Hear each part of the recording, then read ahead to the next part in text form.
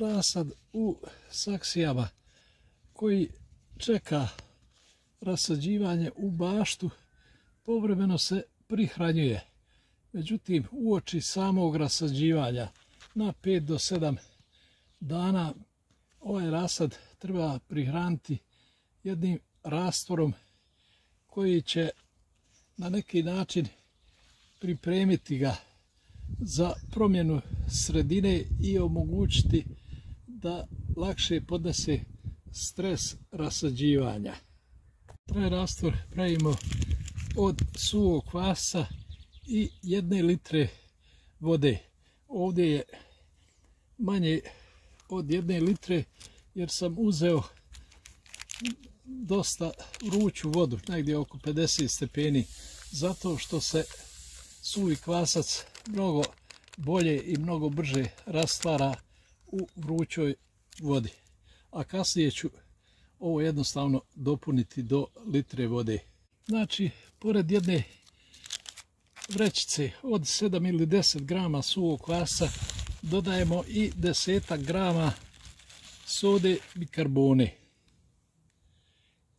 Soda se također jako teško rastvara u hladoj vodi i zbog toga i nju dodajem odmah dok je još uvijek voda relativno vruća.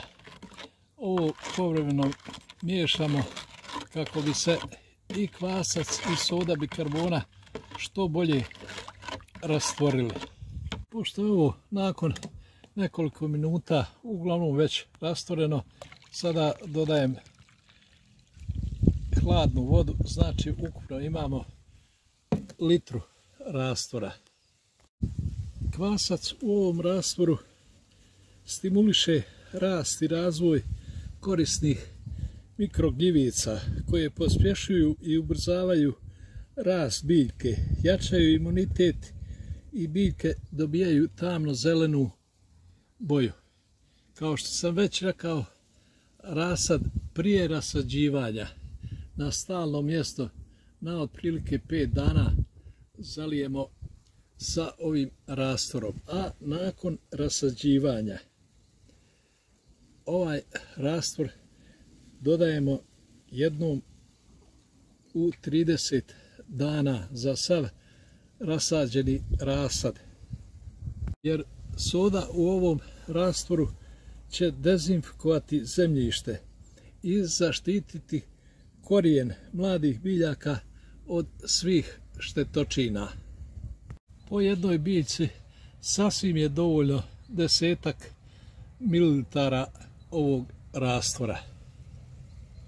I on se uvijek dodaje na vlažno zemljište. Znači prije dodavanja, odnosno zalivanja sa ovim rastvorom, biljke se zaliju čistom vodom kako bi zemljište bilo vlažno.